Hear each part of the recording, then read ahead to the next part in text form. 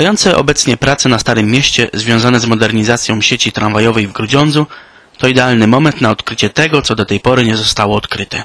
Prace remontowe to idealny moment, by zajrzeć w głąb Starego Miasta i w ramach prac archeologicznych dokonać nowych, ciekawych odkryć. W trakcie remontu torowiska przy ulicy Klasztornej okazało się, że w tym miejscu kiedyś była drewniana droga. Nie jest to pierwsze odkrycie i zapewne nie ostatnie. Archeolodzy odkopali już m.in. fragment bramy toruńskiej, pochodzącej z okresu średniowiecza.